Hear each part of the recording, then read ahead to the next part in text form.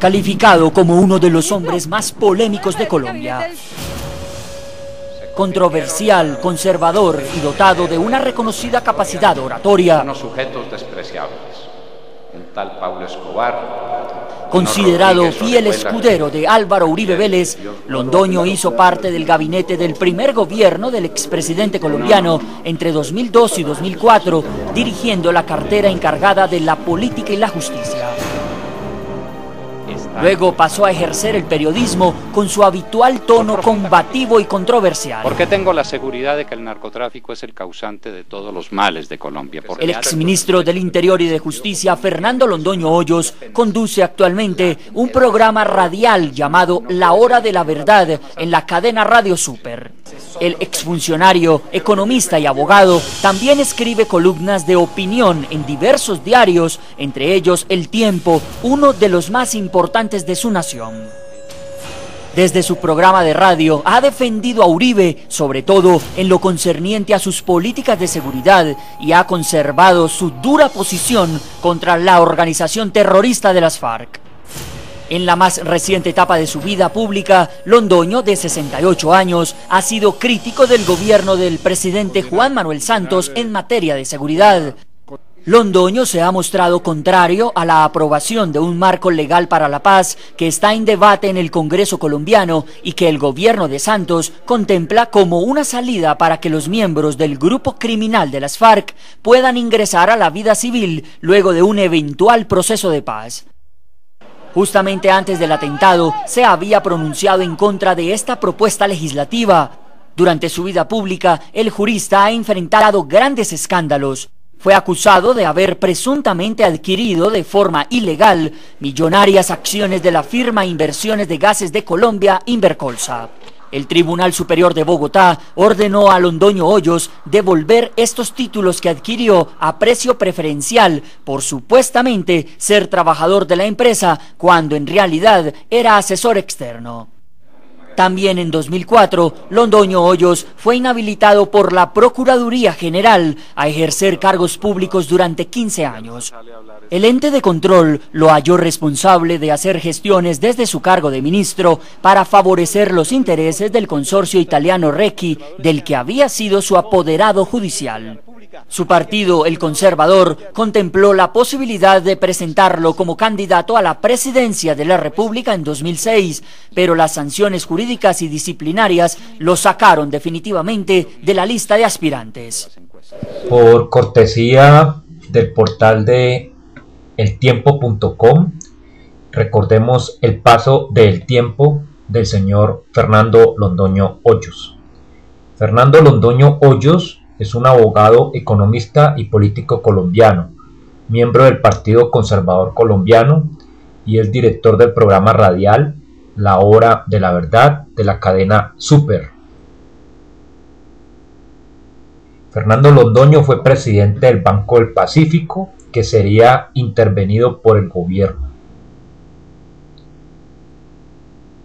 Tras estallar el escándalo del proceso 8000, Fernando Londoño Hoyos defendió públicamente a Fernando Botero Sea, quien resultó condenado por la entrada del dinero de la mafia a la campaña presidencial de Ernesto Samper y por robar 800 millones de pesos destinados a esa misma campaña.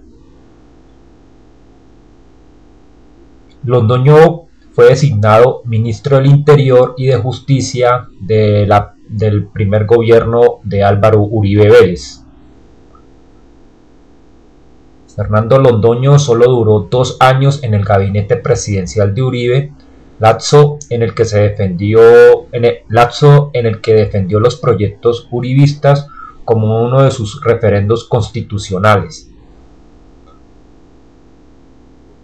En mayo de 1997, Londoño adquirió indebidamente 145 millones de acciones de la firma Invercolsa por un monto de 9 mil millones de pesos, por lo que fue sancionado por las super sociedades. A pesar de tener una sentencia que le ordena devolver dichas acciones, el exministro ignoró tal condena. Londoño Hoyos fue inhabilitado para ocupar cargos públicos por 15 años por la Procuraduría General de la Nación, en cabeza de Edgardo Maya Villazón, por abusar de su autoridad al hacer gestiones que favorecieran los intereses del consorcio italiano Recci, del que había sido su apoderado judicial. El 15 de mayo del 2012, a las 11 de la mañana, una explosión a la altura de la calle 74 con avenidas Caracas, por donde se desplazaba el señor Londoño. Él salió ileso del atentado, pero murieron sus dos escoltas y varios transeúntes con las primeras imágenes aquí en NTN 24 sobre esta explosión que impactó en una buceta al norte de Bogotá, Colombia. Ahí vemos todos los destrozos, eh, la gente por supuesto que pasaba o que transitaba por este eh, sector un poco eh, conmocionada por lo que estaba sucediendo. Ahí vemos los carros que hace un momento Jefferson Beltrán nos describía la situación que se está viviendo en este sector, concurrido sector del norte de la ciudad de Bogotá. Ahí está la policía en acción también tratando un poco de eh, eh, evitar que las personas se acerquen, eh, de que haya confusión también en el ambiente. Todo el mundo se pregunta qué, qué ha pasado, ahí vemos algunas personas que se vieron afectadas producto de esta explosión que se ha registrado en el norte de Bogotá, también el cordón que han hecho como decimos, para evitar el paso de, personas que quieren averiguar, de curiosos, de transeúntes, gente confundida que no se explica lo que ha pasado. Imágenes sin editar, aquí transmitidas por NTN 24 para toda nuestra teleaudiencia en Estados Unidos y América Latina. Muchos jóvenes, como nos decía Jefferson hace un momento, es un sitio eh, donde hay universidades a esta hora, en un eh, martes común que hasta ahora están, estén dirigiéndose hacia sus clases o saliendo de ellas también. Ahí llega la ambulancia a retirar algunos heridos. Ya medios locales de Colombia han reportado de siete personas eh, heridas o afectadas con esta explosión. En horas de la mañana recordemos que la policía informó que desactivó un carro que estaba con explosivos también en Bogotá, Colombia.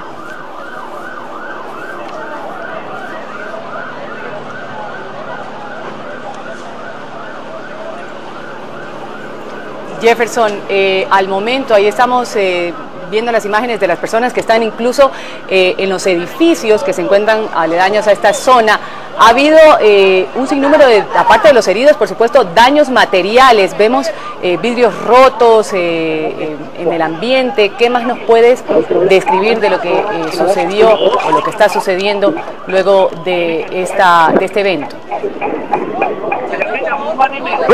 Pues mira, en este momento, como te lo digo, acá hay, una, una, agitación muy fuerte por parte de la Policía Nacional, porque ellos eh, en este mismo están tratando de replegar a decenas de curiosos, decenas de ciudadanos, la mayoría de ellos que quieren saber exactamente qué fue lo que sucedió. Otros tantos personas que están preocupadas por las personas que iban en esa buceta que ustedes están viendo en cámara en este momento. La Policía Nacional, en un informe extraoficial, porque ninguno de ellos, eh, digamos que se ha atrevido a darnos una declaración en cámara o, ante los micrófonos de NTN 24, ninguno de ellos pues nos ha, dado un parte oficial, pero sí nos han dicho que en esa buceta las personas que iban salieron totalmente ilesas. No tenemos conocimiento qué cantidad de personas iban dentro de ella, pero lo que podemos establecer hasta este momento es que no se habla todavía de muertos. este bus que está ahí, que lo vemos prácticamente eh, incinerado, ¿estaba parqueado en el lugar eh, o alguien estaba conduciendo ese transporte? No, hasta este momento eh, esa información eh, aún no ha sido establecida. Eh, el conductor de, esa buceta fue evacuado inmediatamente de este lugar. En ese punto, como usted lo puede ver, Ruth, hay un semáforo. Entonces, seguro que uno puede observar de cómo están ubicados los carros, eh, en ese momento pues esperaba el cambio de semáforo para poder eh, transitar de la calle 74 hacia la avenida Caracas, a, atravesar la avenida Caracas. Lo que puedo decirles es que nosotros evidenciamos que ninguno de esos carros que ustedes ven ahí hay ninguna víctima mortal, no pudimos establecerlo, estuvimos caminando por ese lugar y obviamente tratando pues de auxiliar y ayudar a las víctimas que ven en ese momento. Pero eh, lo que podemos establecer es que esta buceta, las personas que iban allí se encuentran hasta este momento iletas. Jefferson, ya tenemos aquí algunos eh, reportes de diario que siguen arrojando también información de diario en Colombia. Hablan de dos muertos, de 19 heridos por esta explosión de la bomba en una buceta de Bogotá. Hablan también de cuatro vehículos afectados. Imágenes de cuando el exministro, ahí lo vemos hace, hace minutos, por supuesto, cuando el exministro Fernando Londoño fue sacado del interior de su auto, luego de este atentado que ocurrió en el centro, en el sector norte de Bogotá, en la avenida Caracas con calle 74. Eh, pues no se sabe todavía si ese es el móvil de este atentado, pero ahí vemos, son las cámaras de NTN 24 cuando sacan al exministro de Interior de Justicia, Fernando Londoño, de su carro eh, blindado del que se supone iba dirigido, se supone porque así lo han dicho las autoridades, todavía no se conoce un móvil específico, Jason, a dónde iba dirigido ese atentado, en todo caso NTN 24 les presenta a ustedes las imágenes en el que ocurría el su, guardia sacaba al exministro de Interior y Justicia de su automóvil. Lo vemos ahí eh, para nuestros televidentes. Impactante. Por, supuesto, impactante. Andrea, el exministro está ensangrentado en la cara, uno de sus escoltas con un arma levantada intenta buscar un taxi para transportar al exministro hacia la clínica Country donde fue trasladado. El exministro viajaba en esta camioneta y se cree que uno de los muertos era precisamente su conductor o uno de sus escoltas, exministro del Interior y de Justicia del gobierno del expresidente Álvaro Uribe, del primer gobierno. Un atentado que ya ha confirmado el presidente Juan Manuel Santos iría dirigido en contra de este hombre, un abogado, un economista que además dirige un espacio radial muy reconocido en la cadena Super en Colombia. Vamos a contactarnos con Washington, está nuestro analista permanente, analista político y también de seguridad, Steven Donahue. Steven, un gusto tenerlo a esta hora. Ojalá tuviéramos con mejores noticias y temas no tan eh, complicados como el que vamos a tratar ahora, eh, justamente sobre la seguridad en Colombia. Si podemos tal vez ser esta una de las aristas, desde afuera, ¿cómo se ve lo que... Muy buenas tardes, pues efectivamente nos encontramos aquí en el norte de Bogotá, en la casa del exministro Fernando Londoño Hoyos, quien fue víctima de una atentado el pasado martes en el que resultó gravemente herido y dos de sus escoltas perdieron la vida. El exministro llegó anoche a su casa luego de que fue dado de alta de la clínica del country donde le prestaron los primeros servicios de eh, urgencias. También conocimos una de las primeras fotos del exministro Fernando Londoño Hoyos aquí en su casa donde está departiendo con su familia y se le ve junto a su mascota, a su perro Pacho. Estamos acá también con su hija en este momento. Cristina, ¿cómo pasó la noche el exministro? Pues muy bien, feliz de estar en casa, recibiendo este, este milagro, esta segunda oportunidad de vida, como él lo ha dicho, un poco incómodo, le hicieron una cirugía aquí y una cirugía aquí para sacarle la, esquila, entonces obviamente no le queda fácil voltearse, pero, pero está con, con buen ánimo y agradecido de estar vivo. ¿Pudo dormir bien? No se puede mover, no se puede voltear de un lado para el otro, pero, pero está descansando mucho. Yo creo que después de, que le pongan a una bomba queda bastante cansado, ¿no? Entonces está descansando. No tiene mucha comodidad el exministro Fernando Londoño Hoyos. También nos acompaña su hijo Fernando Londoño. Fernando, ¿cuál es la situación de su padre? ¿Qué cuidados hay que tener? Bueno, él físicamente está muy bien, eh, del pulmón se está recuperando mucho de, las fracturas en la cara, los tímpanos los tiene reventados y no era para menos. Eh, anímicamente él sigue muy triste por, por la pérdida de sus dos amigos y compañeros de Rosenberg y de Ricardo, no deja de hablar de ellos, eh, le alegraban mucho la vida y sigue muy triste por eso. También se pone muy triste cuando oye de Humberto Aldana, el conductor de la buceta de 61 años con cuatro hijos que por estar en el lugar equivocado su familia está sufriendo mucho. Entiendo que tienen que tener unos cuidados especiales que no le dio de él, que no puede hablar por teléfono. ¿vale? Sí, él no puede hablar por teléfono porque tiene las fracturas en la cara, eh, hay peligro de infección en los oídos, entonces eh, eh, comunicarse con él en este momento es, es, es, difícil en materia de prensa, por eso él todavía no, no, no habla y hablamos nosotros por ahora. Fernando, muchas gracias. Y pues el presidente Juan Manuel Santos precisamente hoy se refirió sobre la situación del exministro Fernando Londoño, a quien le deseo pronta recuperación. Enviamos un, un saludo a Fernando desde aquí, desde Caldas, decirle que nos alegra mucho que ya lo hayan dado de alta, lo queremos allá nuevamente en los micrófonos combatiendo, así le dé madera al gobierno, eso no importa, esa es parte de, de nuestra democracia. Cristina, pues hemos escuchado al presidente Juan Manuel Santos enviándole un saludo a su padre. ¿Qué opina de este saludo que le envía el presidente Juan Manuel Santos? Nosotros estamos infinitamente agradecidos con el presidente Santos, fue una de las primeras personas en, en llegar al hospital a verlo y el presidente conoce muy bien a mi padre y sabe que en su caso esas críticas son cariñosas, respetuosas y siempre pensando en el bien de Colombia.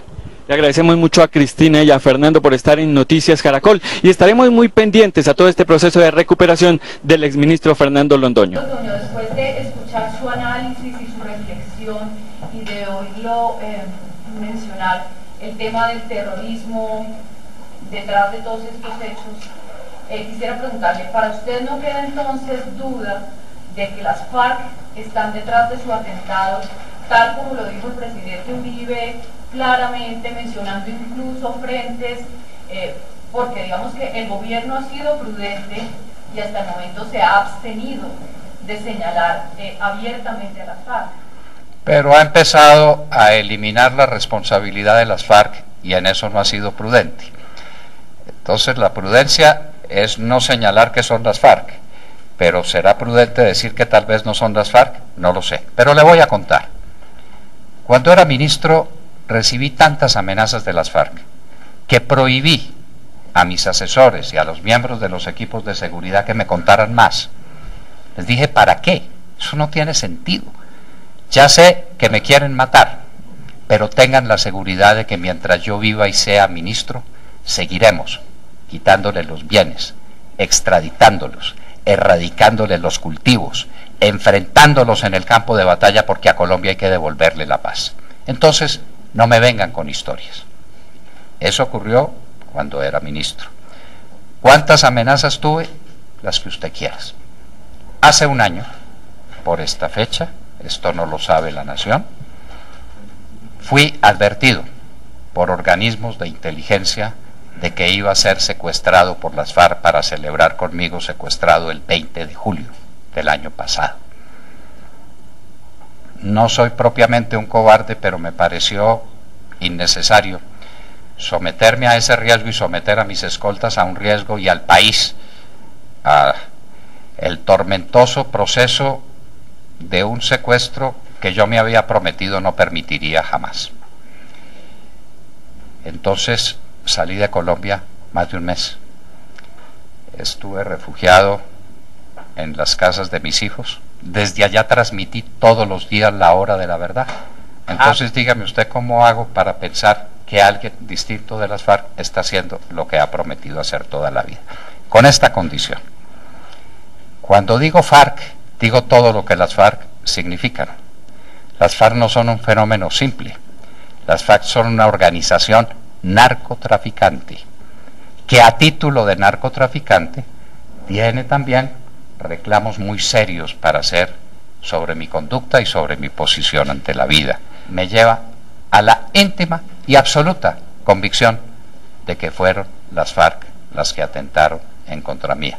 Unas FARC renovadas, renovadas tecnológicamente, que están metidas aquí en el corazón de la ciudad. El tipo de la peluca anda por ahí en alguna parte y el que le entregó al hombre de la peluca el paquete y el que trajo el paquete desde alguna parte, todos esos están en la ciudad de Bogotá. De manera que esa es mi convicción, no cabe otra. Y si alguien tiene pruebas en contrario, que por favor me lo diga. Dígame si el comandante de la policía de Bogotá, que es un hombre serio, dijo que estaba convencido que eran las FARC las autores de este atentado. El general Sergio Mantilla, comandante del ejército, ha dicho que cree que son las FARC las autoras de este atentado. El único miembro del gobierno que ha dicho que cree en una extrema derecha conformada por no sé cuáles tiburones es el presidente de la República. Y si el presidente Santos no fuera el hombre capaz para hacer esta convocatoria suficientemente convincente para que nos una a todos en torno del terrorismo, con objetividad, con seriedad, sin aspavientos, sin, publicidades extrañas, habría que encontrar otro. Las naciones, el presidente Uribe, según la Corte Constitucional, no puede ser reelegido. Lo que sé, por mis conversaciones con ese amigo entrañable y obviamente con el jefe indiscutible de gran parte de esta nación, es que él está dispuesto a seguir haciendo política en grande y está dispuesto a plantear una alternativa presidencial. Me callo nombres porque la responsabilidad es del jefe, pero no tenga ninguna duda de que el presidente Uribe no está haciendo política para entretenerse ni para... Me hubieran podido matar de muchas maneras, pero prefirieron hacerlo de modo que mi muerte fuera una notificación a un sector muy amplio de la sociedad y en particular a ustedes, queridos amigos periodistas. Saludos, comunidad. Bueno, en esta entrega voy a hablar someramente acerca de, el atentado terrorista que se le hizo al señor eh, Fernando Londoño. Eh, ¿Qué podríamos decir? Si bien eh, tenemos un enemigo oculto, eh, un, gobierno, digamos, unos ejércitos ocultos que son los que siembran el terror en Colombia, eh, se podría decir que es un terrorismo, es un enemigo oculto, porque no sabemos en qué momento y en qué circunstancias nos ataca pero también hay que tener en cuenta que hay otro enemigo todavía más oculto que el mismo terrorismo, que es el enemigo de la corrupción. El enemigo de la corrupción hace que los muchachos eh, caigan en las redes de los terroristas, porque como nuestra sociedad es consumista, eh, ellos tienen que buscar una manera de subsistir. Cualquiera me dirá, no, pero es que esa no es la única opción. Ahí hay el problema. Cuando tú no ves opciones, recurres a, lo que se te, a lo que se te presente. La corrupción hace que, se genere el terrorismo, porque no, al no haber escuelas, al no haber con qué pagarle a los médicos, al no haber profesores, entonces los muchachos caen precisamente en estas redes. No lo es todo, pero es parte del problema. Y, y cuando hay terrorismo, pues claro, el terrorismo conduce a la miseria, ¿sí? Entonces prácticamente son tres factores que uno ve aquí en nuestra sociedad colombiana y prácticamente nos hemos acostumbrado a convivir con ella, ¿sí?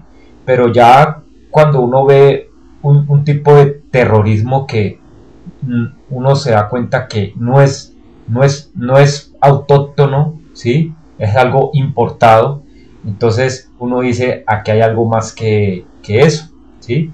Y es precisamente eh, el tipo mm, de bomba que se usa. Entonces uno dice aquí ya hay algo diferente porque eh, el tipo de bomba LAPA que se usa y que, se usó en este atentado terrorista efectivamente es un tipo de, explosivo que se adhiere a cualquier tipo de superficie. Eh, mm, que es un vehículo, normalmente es un vehículo motorizado que eso se activa ya sea por sensores de movimiento o a control remoto ya sea por un celular. ¿sí? Eh, normalmente este tipo de bombas LAPA contienen un imán y, o un mecanismo adhesivo y, una vez colocado en el objetivo pues se, instala. Es algo que normalmente uno hemos visto en las películas que normalmente las, las colocan con, con, con tabaquitos de, de, dinamita, pero eh, es, un, es, un, es, un, terrorismo que, que, da miedo porque uno dice, caray, yo, yo ahora, de ahora en adelante, veo una caravana de escoltas en un semáforo y me voy abriendo porque no demoran en, caer los terroristas y, hacer de las suyas. Y es cuando uno dice, eh, ¿por qué una caravana de escoltas tiene que hacer un pare? Recordemos que, bueno, no es que sea peliculero, pero en una de las películas eh, que yo me he visto, eh, que precisamente es, hace, es un bestseller, eh, se llama Peligro Inminente, creo que es de Arthur C. No me acuerdo bien de, no, Tom Clancy, Tom Clancy es, es el autor de, de, esa, de ese bestseller, ahí se veía cómo se utilizaba un, una unidad motorizada y avanzada que era la que se encargaba de darle vía libre a, la escolta, en ese, en ese entonces era un agente de la DEA en las calles de Bogotá. Obviamente, como todo sistema de seguridad, tiene sus fallas, porque al, a, la al, a la unidad motorizada eh, eh, la, dieron de baja y, y, fue sustituida por, por el grupo de narcotraficantes que finalmente llevó a la emboscada a este, a este agente de la, de la DEA. Independiente de todo lo que haya pasado eh, en el historial de este señor, pues eh, uno como colombiano le da, le incomoda, porque uno dice, ¿hasta cuándo nos vamos a hacer pasito? ¿Hasta cuándo vamos a dejar de odiarnos tanto y, y decir, bueno, construyamos el país que todos deseamos, pongámonos a construirlo, no, no mientras uno lo, lo construyen, otro lo destruyen. Y, prácticamente esto ha sido un desgaste. ¿Y por qué ha sido un desgaste? Porque mientras en el mundo hay una necesidad de, consumismo, hay, hay, una necesidad de, de mm, suplir un mercado eh, de narcóticos, ¿sí? Mm, porque el problema no es de Colombia, el problema es del mundo entero, ¿sí? Nosotros simplemente somos parte de ese problema, pero si, dentro, si, en el mundo se sigue consumiendo la droga que se consume, pues nunca vamos a terminar de, de, salir de todo este atolladero y nosotros los colombianos siempre seremos los que vamos a colocar los muertos. Y en el exterior, háblese de Estados Unidos, háblese de Europa, háblese de Medio Oriente, eh, son, los que van a, son los que colocan eh, los drogadictos. Entonces, mientras haya ese, ese, ese, ese narcotráfico, mientras haya todo ese tipo de, de, doble moral, ¿sí? entonces nosotros vamos a seguir siendo eh, los parias del paseo, ¿sí? Vamos a seguir siendo las putas del paseo y, y, por ejemplo si Whitney Houston se murió por sobredosis de cocaína, entonces eso es culpa de los colombianos. Entonces eh, no vamos a, poder realmente construir eh, la sociedad que verdaderamente queremos. Eh, precisamente en, en, los años 60, cuando salieron las revoluciones, la revolución cubana y todo esto, precisamente este señor, ah no, perdón, este, este señor, ¿sí?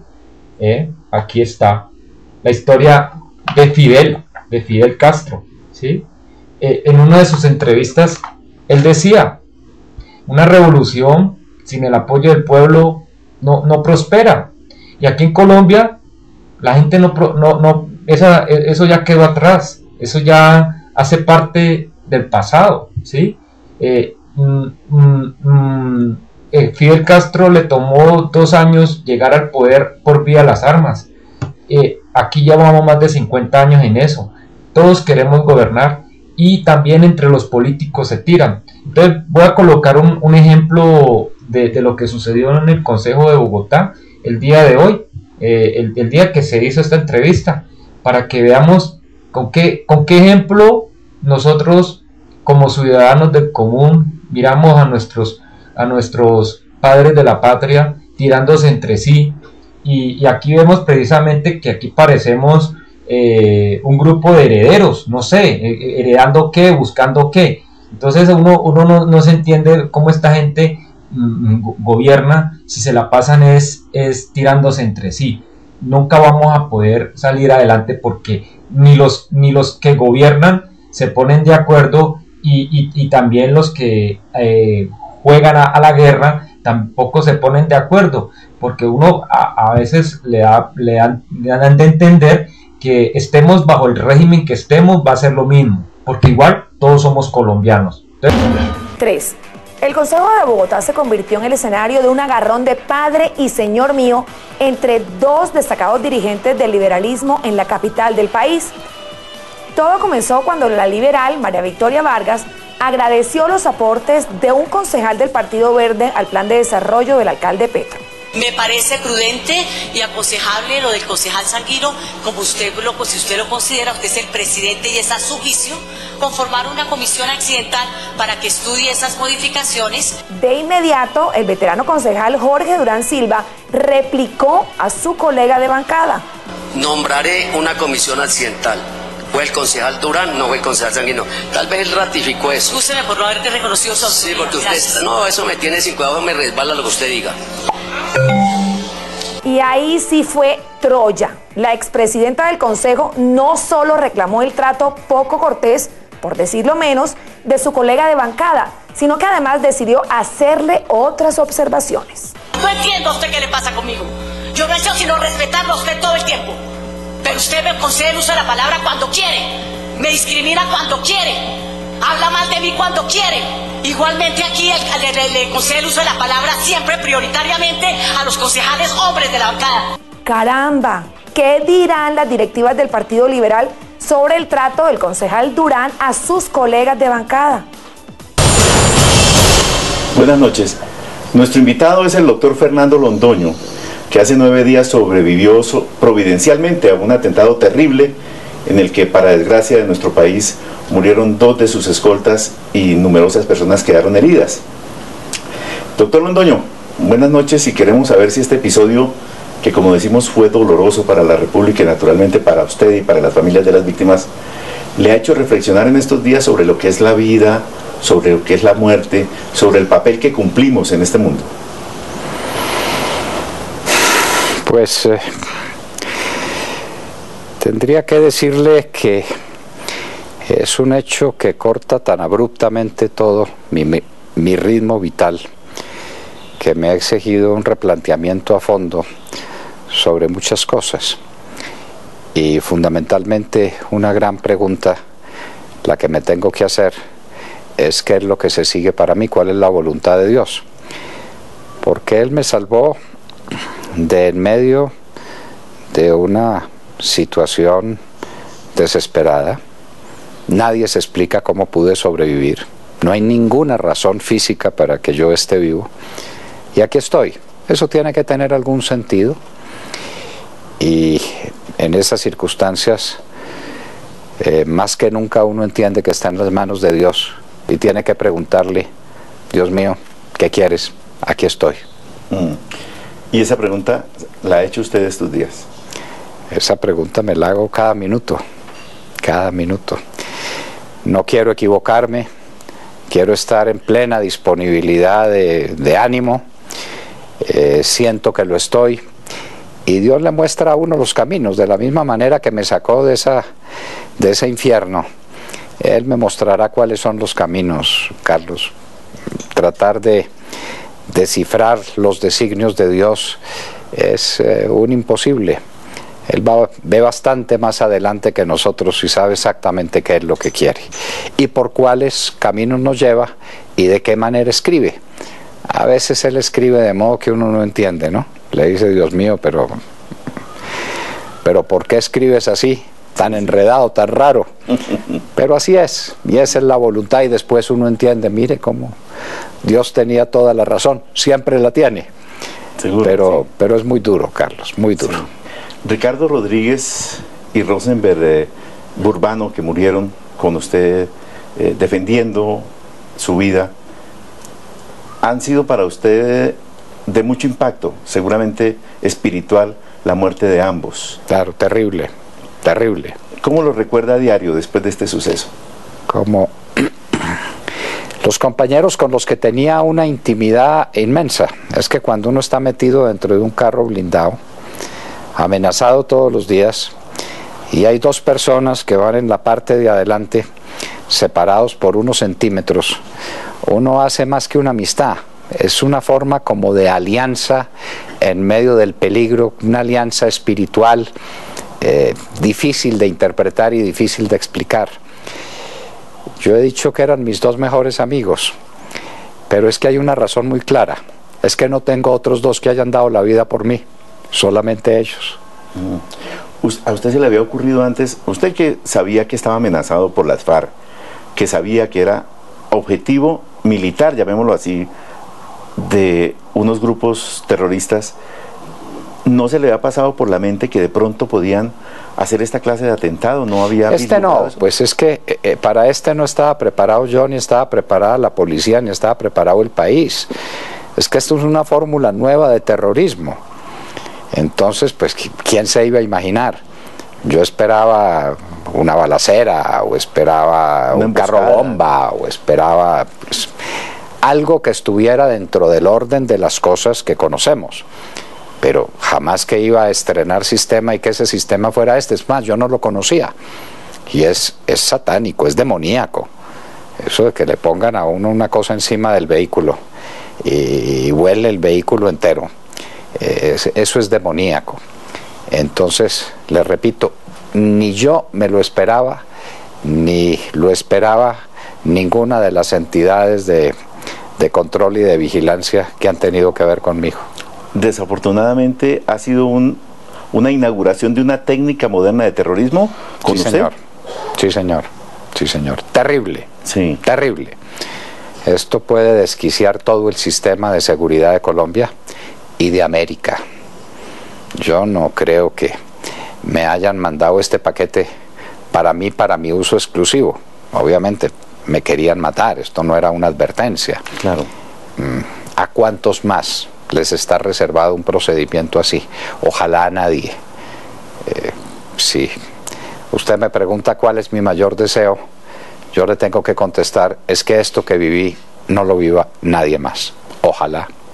Pero tengo mis dudas. ¿Usted cree que esto va a seguir?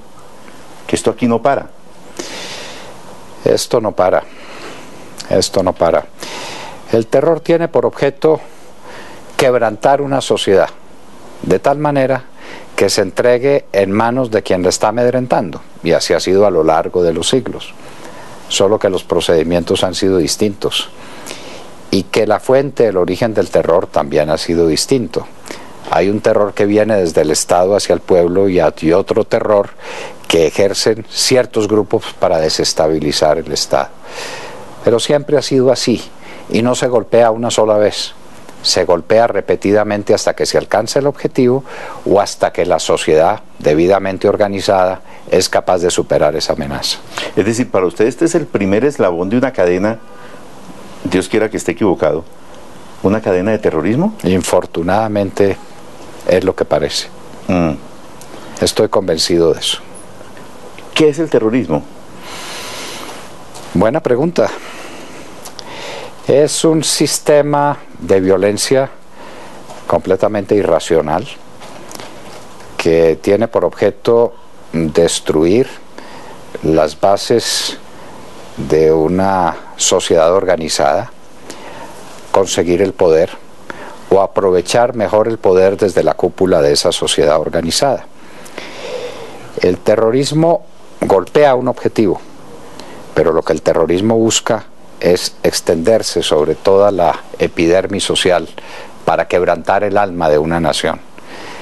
E, ese es el objetivo, que la gente se arrugue de tal manera que se eh, sienta tan contristada y tan impotente que diga, con tal de que me quiten esa amenaza de encima, me entrego a cualquier dictado, a cualquier forma de mando.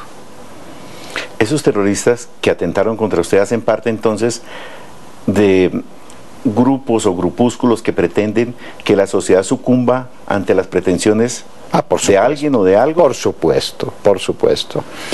Esto es una cosa vieja, el terrorismo de las FARC trae 50 años, 50 años de vida trágica en la nación y cada vez se vuelve más sofisticado en la medida en que logra entrar en contacto con eh, eh, fuentes organizadas de conocimientos, lo que llaman los ingleses el know-how, ¿no? Eh, pero en el fondo es lo mismo con sistemas nuevos. Mire, los famosos irlandeses que estuvieron en el Caguán cambiaron todo el sentido de la guerra en Colombia, porque enseñaron, le enseñaron a las FARC a usar explosivos, a poner minas quiebrapata, a utilizar eficazmente los famosos cilindros bomba, y eso cambió la historia de la guerra. Ahora alguien les está enseñando cosas nuevas y las han aprendido. ¿Alguien que viene por allá de Caracas, dice usted? Yo no tengo duda de que eso, de que hay una conexión Caracas y de Caracas más allá de Caracas. Es que uno no puede abrazarse impunemente con Gaddafi, con Ahmadinejad con Bashar al-Assad, sino que eso tiene algún significado. Cuando uno tiene arrestos para mandarle a Bashar al-Assad, buques cargados con combustible para que llene sus tanques de guerra de gasolina y pueda masacrar a la oposición. Cuando uno le dice a Madineyad que es un hijo de Bolívar, que, que es el hijo amado de América, y cuando se abraza con Gaddafi uno tiene una es porque tiene una textura moral muy especial. Chávez la tiene, y, y entonces ¿qué se puede esperar de ahí? Y yo le, le contrapregunto, como usted sabe que compartimos la misma profesión, ¿qué traía y llevaba el avión de Caracas Terán y de Teherán a Caracas? Nunca nadie se lo ha preguntado. Bueno, se lo ha preguntado mucha gente. Exacto. Nunca nadie lo ha sabido. Nadie lo ha sabido. Es muy difícil contestar esa pregunta, efectivamente.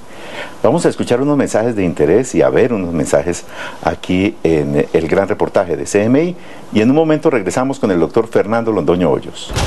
De regreso en el gran reportaje con el doctor Fernando Londoño Hoyos, una persona que ha vivido intensamente la política y que con vehemencia ha defendido sus propias ideas, encuentra que después de este episodio tan trágico, personas tan distintas y tan distantes como Claudia López y como Gustavo Petro estuvieron en solidaridad con usted. ¿Qué piensa de eso? Pienso que es noble de parte de esas personas, pero pienso que han comprendido cuál era el mensaje que venía implícito en el atentado en contra mía. Ese mensaje es el mensaje de la barbarie, diciendo aquí hay no hay un espacio para la vida civilizada, para la vida común, mm, eh, para la vida compartida, para la discusión de las ideas y para la lucha por unos ideales, pero dentro de unas bases fundamentales de respeto recíproco. Entonces lo entendieron y por eso acuden a manifestar su inconformidad con que este tipo de cosas sea posible. Es que, eh, mire, lo he dicho una vez, dos, y lo diré cien veces. Aquí necesitamos un proceso de unión nacional contra un enemigo común. Eso de que si es la izquierda o si es la derecha, eso es un puro sofisma de distracción. Esto es la barbarie contra la sociedad organizada. Y entonces Petro y Claudia López y mucha gente de, izquierda ha entendido que eso, que eso así no puede ser. Lo mismo que mis amigos, los que lo son menos, las personas con quienes he disputado, con quienes he estado de acuerdo, todos en el fondo coincidimos en lo mismo. Una sociedad bajo el terror es la negación de la sociedad. Yo pongo mucho el ejemplo, eh, Carlos, porque es que la humanidad tuvo una especie de laboratorio de la política que se concentró en unos cuantos años, diga usted, seis años los más eficaces y los más dinámicos, que es la Revolución Francesa. Ahí pasó todo, todo. Y entre ellos pasó la época del terror. Cuando llega la época del terror, el pueblo descubre que así no puede ser, que necesita otra cosa, que necesita aprenderse de algo y que lo que traía, es decir, los vientos que soplaban no la llevaban a ninguna parte y busca desesperadamente otra cosa. Y mire usted, la Francia de la Revolución, la Declaración de los Derechos del Hombre, el nacimiento de la democracia, por un hecho de terror, termina fundando un consulado y después un imperio. Y, ese imperio le llega como un gran descanso después del espanto de una época de terror. El terror es la disolución de la comunidad organizada. Y eso es lo que se nos viene encima. Entonces, frente al terror no cabe sino la unión. La unión frente a un enemigo común.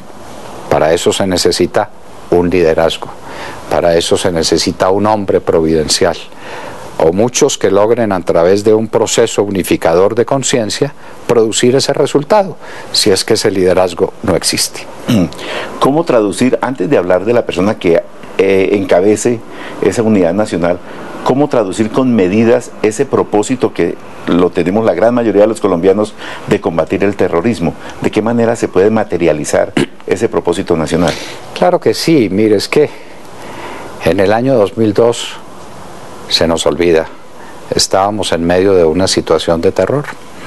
Las carreteras estaban abandonadas, los campos también. La gente no sabía cuando salía al trabajo por la mañana si iba a regresar intacta otra vez a su casa. No había vida.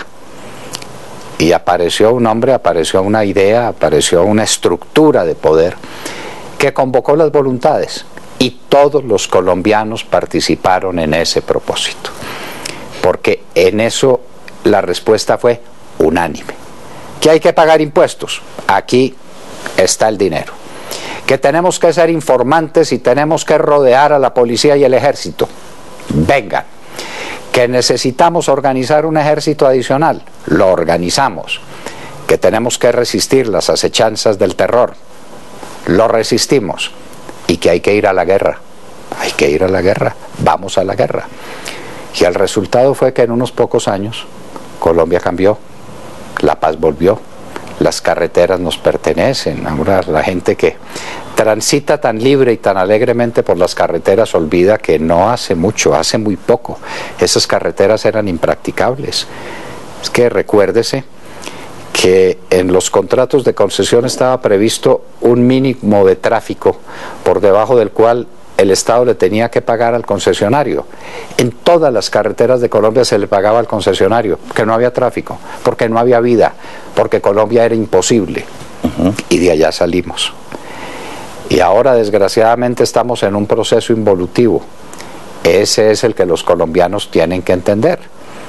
Porque ya nos pasó una vez que no nos pase la segunda. Bueno, ya nos había pasado antes en la época de Pablo Escobar que puso de rodillas el régimen establecido, de rodillas. Es que quiero código de procedimiento penal nuevo, tómelo. Es que quiero que cambie el sistema carcelario, cambie el sistema carcelario. Es que yo quiero una cárcel donde yo sea el dueño y el amo, tome la cárcel. Todo se puso en sus manos. El resultado lo tenemos que recordar. Y Colombia siguió en ese proceso de descomposición y de disolución hasta que en el año 2002 empezó la reconstrucción, que no podría decirse con justicia que se le deba al presidente Uribe. Él presidió el fenómeno. Él fue el hombre providencial que reunió las voluntades de todos los colombianos. ¿Quién hizo el milagro? Colombia unida. Yo me pregunto, ¿se estarán dando las condiciones para que Colombia vuelva a unirse y para que volvamos a tener un propósito común? Todos todo sin excepción. Después vemos cómo discutimos cosas. De acuerdo. Todo, todo lo demás es discutible. Las bases de la sociedad no. Por eso los filósofos dicen que la seguridad es un valor fundante. Es la fundación, es el cimiento. Si usted le quita a un edificio los cimientos, pues se cae. Doctor Londoño, pero el presidente Santos no está en capacidad o no está demostrando que tiene la capacidad para ejercer ese liderazgo. Hasta ahora no. Y hasta ahora no por una razón fundamental, porque él no, ha entendido la situación.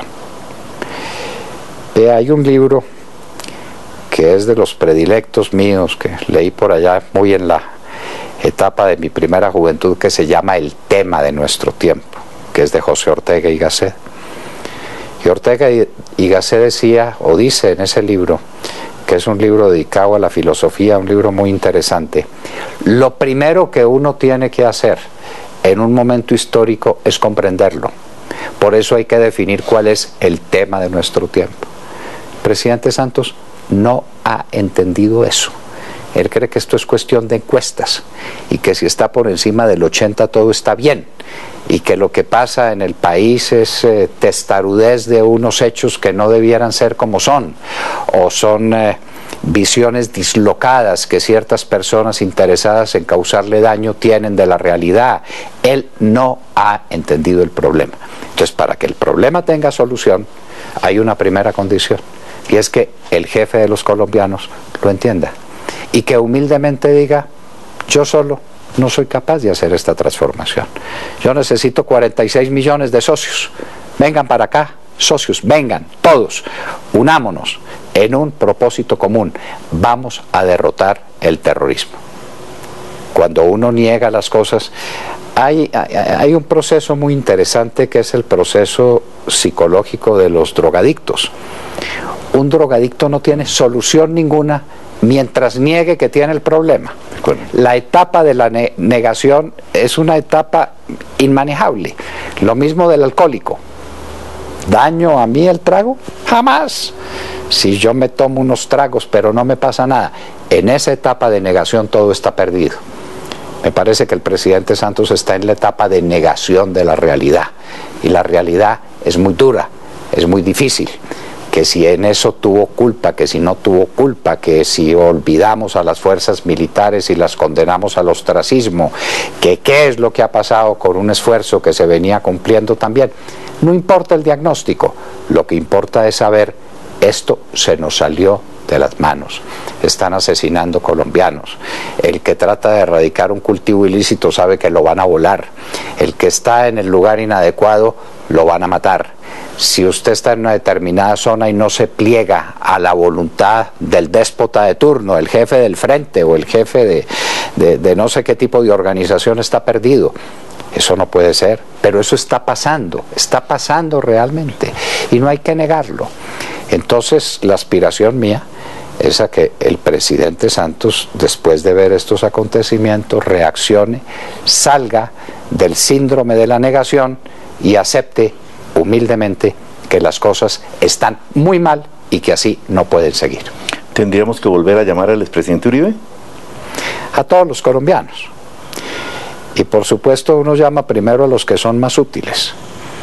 Y, yo no veo cómo se conciba la política colombiana sin el presidente más importante que Colombia ha tenido en siglo y medio. Yo no lo entiendo ese, eh, ese enfrentamiento que Santos eh, decidió em, plantear ante el presidente Uribe desde su discurso de posesión, lo vi con verdadero horror, dije, pero, pero ¿esto qué es? Si él hubiera tenido noción más clara de la realidad y hubiera definido el tema de nuestro tiempo, hubiera dicho, Uribe es un hombre imprescindible para mí y lo voy a tener a mi lado y le voy a pedir consejo y le voy a pedir ayuda y voy a trabajar con él. Y poco a poco en el camino las cosas se van arreglando y yo voy labrándome mi propio destino. Pero por Dios, unido al hombre más prestigioso que ha habido en la política colombiana en toda la historia que hemos conocido que vuelva y haga coalición política con el expresidente Uribe, es la idea que Sí, sobre unas bases eh, sinceras del programa, de, realidades, pero pues tiene que ser. Pero, pero ¿por qué? El presidente Uribe lo dijo alguna vez. ¿Por qué fui tan bueno para apoyar una candidatura, para lanzar un candidato, apoyar una candidatura y ganar unas elecciones? ¿Y por qué he sido tan malo para ayudar a gobernar? O para que se tenga en cuenta mi punto de vista o para que el gobierno que yo ayudé y de manera definitiva a instaurar se olvide de eso y en su lugar quiera plantearme una permanente controversia.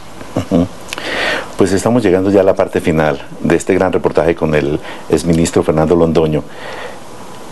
Esta segunda oportunidad, brevemente usted, doctor Londoño, nos puede escribir a qué la va a dedicar a servirle a mi patria hasta donde pueda. Eh, yo me pregunto qué soy yo, una persona ya de muy larga experiencia en la vida, con unos estudios muy largos, sea unas cosas que pueden serle útiles al país. Quiero compartir con mis compatriotas esas inquietudes. Quiero ayudar a construir una nación. Quiero ser útil. Bolívar decía que la gloria está en ser grande y en ser útil. Yo ya no puedo ser grande, pero tal vez sí pueda ser útil. Ahí estoy dispuesto con el mejor ánimo. Mire, yo soy probablemente el colombiano menos sospechoso que en este momento hay en algo que se parezca a la arena político, porque como estoy inhabilitado para todo por el resto de mi vida, entonces nadie puede decir que es que tengo ambiciones. No tiene un interés creado, claro. No tengo ningún interés distinto del del servicio. Si mi voz ayuda, si las cosas que pienso pueden ser útiles, si la visión de la vida que yo tengo puede contribuir en algo en estos momentos críticos de la patria y los que vienen, los que vienen, porque vienen momentos mucho más difíciles. Déjeme terminar diciendo, veo que usted ya tiene prisa y que la tiranía del reloj se impone.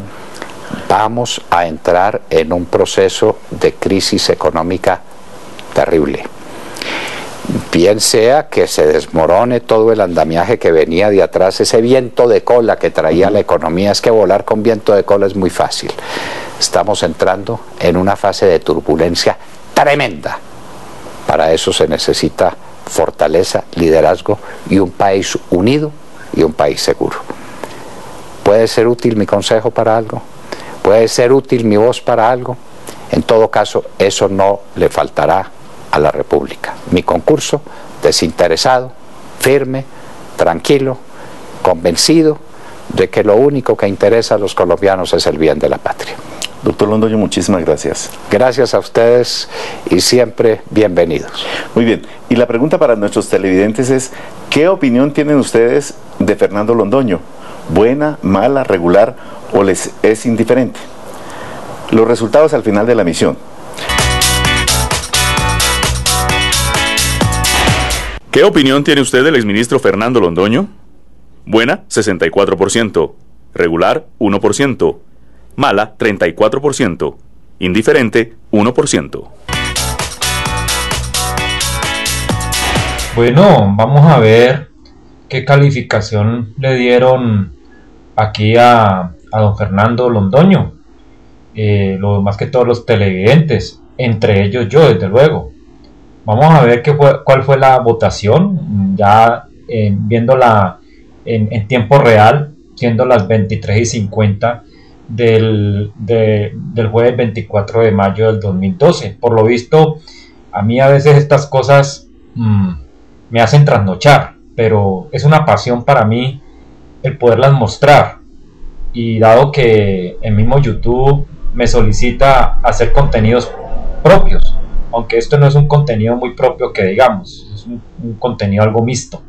Veamos pues la, la calificación que le, dieron, le dimos los televidentes a esta entrevista del señor Fernando Londoño.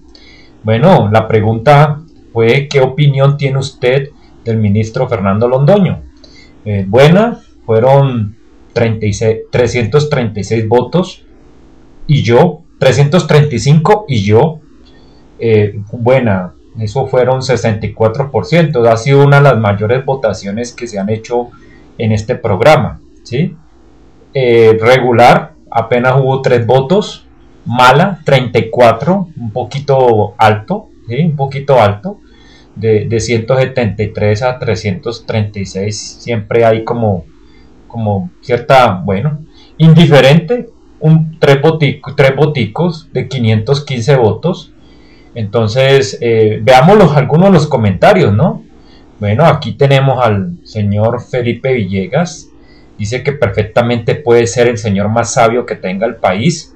Las cosas que dice, como las que, como las que dice, lo hace un líder natural. De hecho, este señor habla muy naturalmente. No, no, no mantiene mucha verborragia en su. no, es, no es, es, es, una, es como un estadista, como un profesor, es una persona que, que enseña Claudia Serna simplemente dice brillante, con eso lo dice todo. Eh, Yolanda Giraldo, felicitaciones al doctor Londoño, es muy valiente. Otros, otros por menos abandonarían el país, claro, a que muchos se han ido. es un gran líder, dice Yolanda. Y bueno, ¿quién, quién más? Pues, pues yo, Alonso Martínez Uluaga, Mr. Crack. Pues primero, señores de CMI, eso fue un problema entrar a, su página, a su portal. La página colapsó. Me parece una excelente entrevista hecha al, al exministro Londoño, mucho mejor que la de Caracol y RCN. Eh, por mi parte siento hacia él un gran respeto y admiración. Es una lástima que se le quiera callar. ¿sí? Personas como él son las que necesitamos. Y eso que no soy un uribestia. ¿sí? Pero yo aún, aún, no comparte, aún no comparta las ideologías del todo, las ideologías de, del señor Álvaro Uribe, aún respeto las afinidades políticas de los demás, porque pues a mí me han enseñado que la paz es el, es el respeto por la opinión ajena.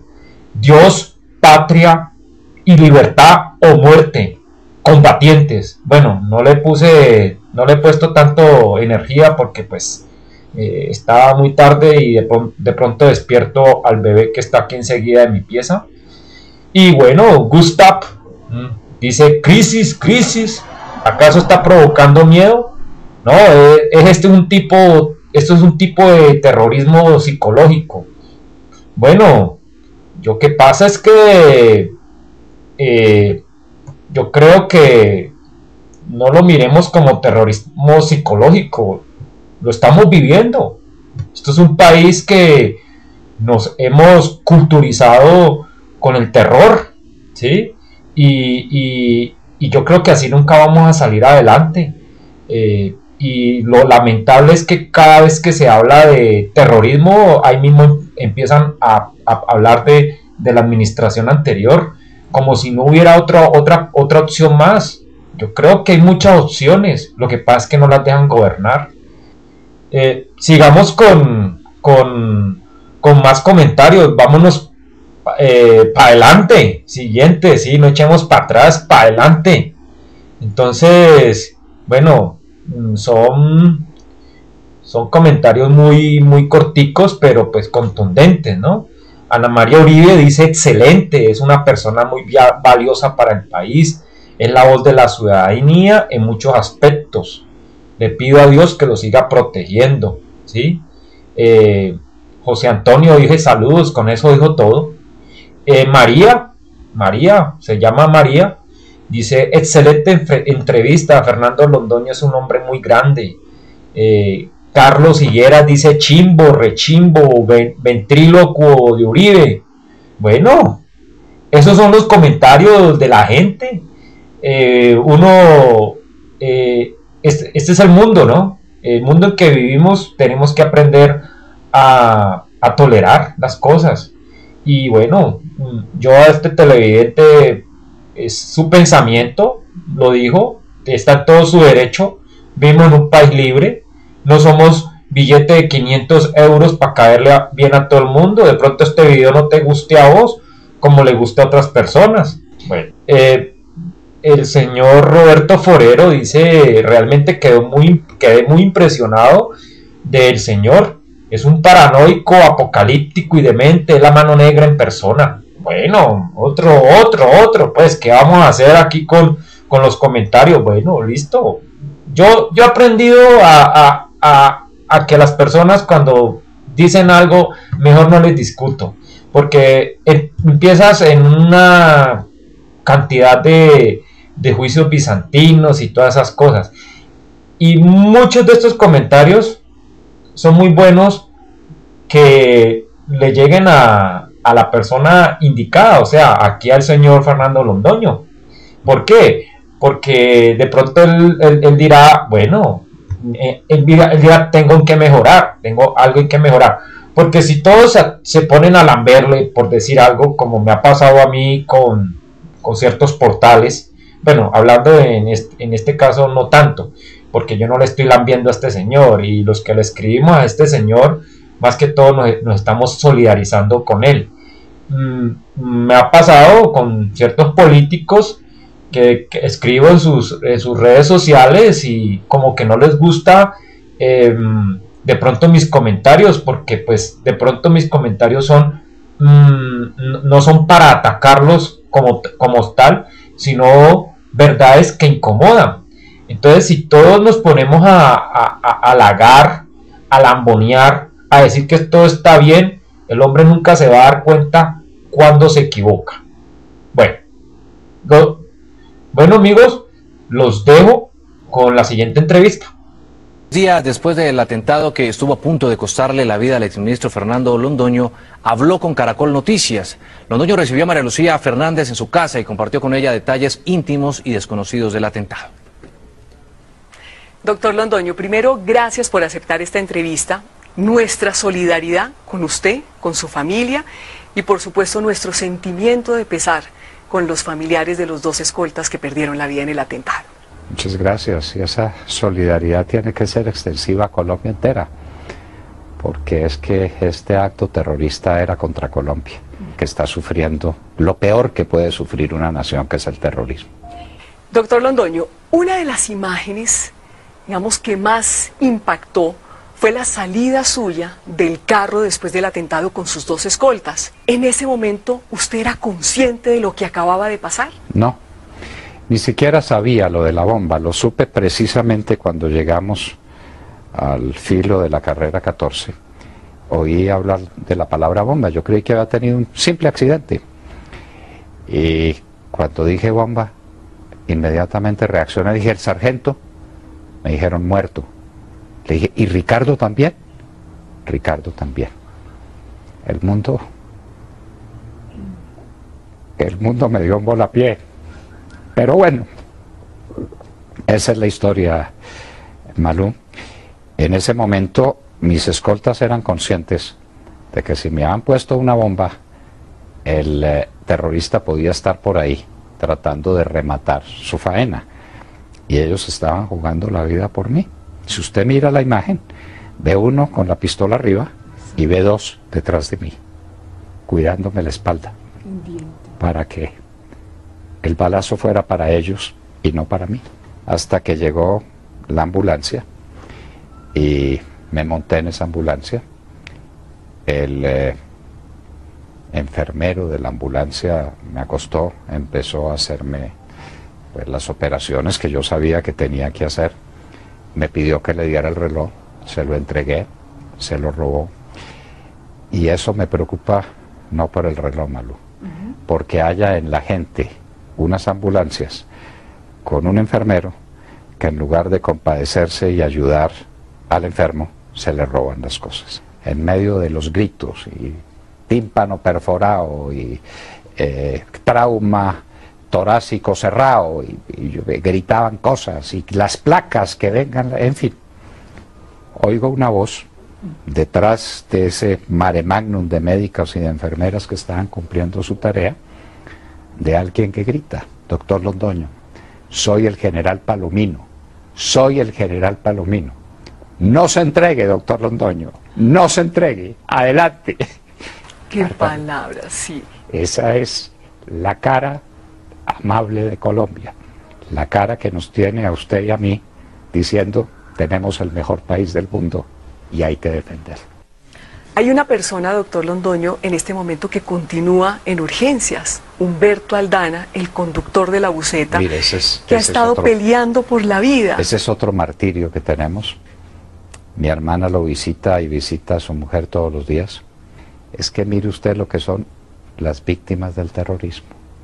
Ese hombre que tenía que ver con nada, de nada, de nada, simplemente estaba ahí, como estamos en plan de indemnizar a las víctimas. Me parece que la primera víctima es ese señor. Devolvamos un poco la película. Es cierto que segundos antes del atentado, usted estaba hablando con su señora esposa por chat sobre su hijo. Sí, sí. Lo último que escribí en el chat fue esto. Celebramos interrogación. Fernando acababa de terminar su semestre en Georgetown con una A menos y tres AES. Entonces recibí la noticia y le dije a María Margarita por el chat, celebramos interrogación. Y cuando estaba esperando la respuesta, vino la bomba. ¿Qué recuerdo? Ese ruido metálico que se me quedará grabado para siempre. Algo que se dijeron Ricardo y Rosenberg que reaccionaron. Y mire usted, me salvaron la vida por incumplir los manuales. De acuerdo al manual, un escolta nunca debe abrir la puerta de un carro blindado. Nunca. La onda explosiva, en parte muy importante, salió por ahí y entre otras cosas permitió que yo saliera con vida. Y en la rueda de prensa, doctor Londoño, el presidente Santos dice que espera una pronta recuperación, que espera verlo y escucharlo pronto en los micrófonos, así sea, para darle palo al gobierno. ¿Usted le va a seguir dando palo al gobierno? Madera al gobierno. Madera. Será complacido, será complacido. Yo quiero que el doctor Santos eh, tenga éxito. Me parece que está haciendo cosas profundamente equivocadas. Me parece que se le vienen momentos muy difíciles en la vida nacional, muy difíciles, y no sé si va a ser el hombre de las circunstancias. ¿Cuál cree que es su misión después de haber sobrevivido a este atentado? Si usted descubre, me la cuenta, porque yo estoy detrás de la respuesta a esa pregunta, todos los días le digo a Dios, bueno Dios mío, ya me hiciste el milagro ahora, ¿para qué soy bueno? ¿Qué es lo que quieres de mí? Uno se tiene que poner en manos de Dios que Él muestra los caminos. El paramédico que atendió a Fernando Londoño en el lugar del atentado se presentó hoy a la fiscalía para denunciar al exministro por injuria y calumnia. Londoño aseguró que tras el atentado le robaron su reloj Rolex. Este es el paramédico del Hospital Mason, Yesir Rodríguez, quien fue el primer enfermero que atendió y subió a su ambulancia al exministro Fernando Londoño segundos después del atentado de la calle 74. El enfermero se acercó a la URI de Palo Quemado para denunciar en las últimas horas al exministro por injuria y calumnia, luego de enterarse de estas declaraciones que dio el exfuncionario a Noticias Caracol. El eh, enfermero de la ambulancia me acostó, empezó a hacerme pues, las operaciones que yo sabía que tenía que hacer. Me pidió que le diera el reloj, se lo entregué, se lo robó. Y eso me preocupa no por el reloj, Malú, porque haya en la gente unas ambulancias con un enfermero que en lugar de compadecerse y ayudar al enfermo, se le roban las cosas. Sin embargo, el paramédico negó que haya tomado el Rolex y aclaró que nunca estuvo solo. Él le entregó la billetera y unas cosas a los dos escoltas que estaban con él. Los dos escoltas estaban al lado mío, al lado mío. Yo en ningún momento estuve solo con él para que él diga esas mentiras. Y explicó además lo que pasó en la ambulancia. ¿El reloj se le pudo haber caído entre la ambulancia? No, no, porque nosotros después hicimos aseo y no había nada. ¿Usted le toma la atención el pulso, le vio reloj? Yo, o sea, en la verdad no le veo nada. Yo subo, lo subo a la ambulancia, le hago los procedimientos y ellos decían, vámonos, vámonos porque vienen otra vez haciendo el atentado y nosotros arrancamos, prendimos la sirena y nos fuimos para country. Ante esta situación, según el paramédico, Londoño debe darle excusas públicas. Sí, es que yo tengo que exigir que él limpie mi nombre, porque me van a sacar de mi trabajo, porque como él es el ministro y yo soy auxiliar, todo el mundo va a estar con él porque él es el víctima y yo soy el malo. El paramédico Jessy Rodríguez espera que la situación se aclare y con esto termine la polémica.